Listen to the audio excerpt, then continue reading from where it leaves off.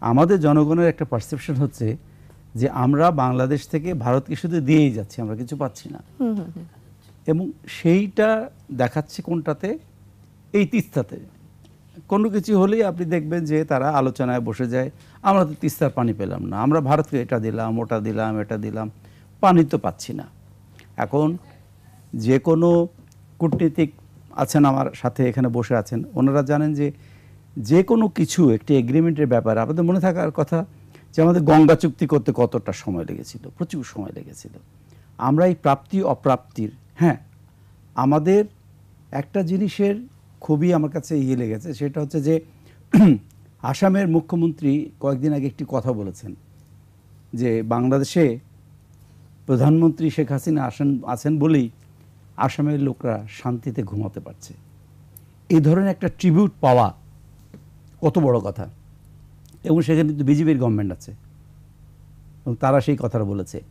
আরেকটি কথা হচ্ছে যে এই মোদি সাহেব মোদি সাহেব সম্বন্ধে যেটা বলেছেন আজকে আমাদের প্রধানমন্ত্রী সেটা হচ্ছে যে মোদিজি যতক্ষণ পর্যন্ত ক্ষমতায় আছেন ততক্ষণ পর্যন্ত আমাদের ভরসা আছে আমাদের প্রতিটি কাজই হবে।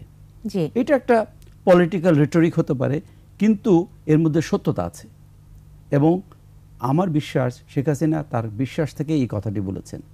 এবং তাদের দুজনকে আপনি যদি দেখেন, যখন তারা প্রেস কনফারেন্স করছিলেন, তাদের যে ফেসিয়াল যে এক্সপ্রেশনটা সেখানে কিন্তু আমি সততা পেয়েছি।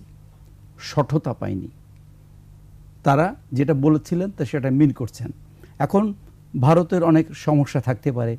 আমাদের মতো তার মাত্র ষোলো কোটি দেশের লোক না, একশো বিশ, তিরিশ, ইদানিং বোধ একশো তিরিশ হয়ে গেছে বা তেত্রিশ, এরকম শুনতে পাচ্ছি।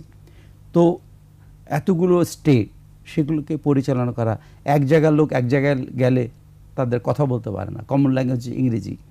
সেইখান থেকে দেশ পরিচালনা করা আর আমাদের মধ্যে একটা দেশ এটা হোমোজিনিয়াস হ্যাঁ? সেইখানে অনেক মানে অসুবিধাগুলো বিদ্যমান থাকে।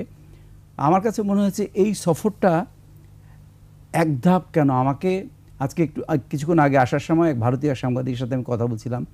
উনি বললেন যে আপনাদের প্রধানমন্ত্রী একেবারে খালি হাতে যাচ্ছেন না। তো এই যে কুশিয়ারা নদীর উপরে যেটা মানে হলো সেটা আরও বিভিন্ন যে সমঝোতাগুলো হয়েছে, এই সমঝোতা হতে আমরা যেমন একটা যদি গাছ আপনি বপন করেন, ফল পেতে অনেক সময় লাগে।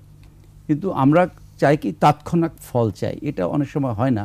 বিশেষ করে দুটো দেশের মধ্যে তো হতেই মানে খুব মানে সময় লাগে। আমাদের একটু ধৈর্য ধরে হতে হবে, তবে যতগুলো আমরা এই পর্যন্ত যেগুলো হয়েছে, যেগুলো আমরা দেখলাম আজকে মোটামুটিভাবে আমি এটাকে পজিটিভ আমার দৃষ্টিতে এটা positive but it may take some time একটু সময় লাগবে।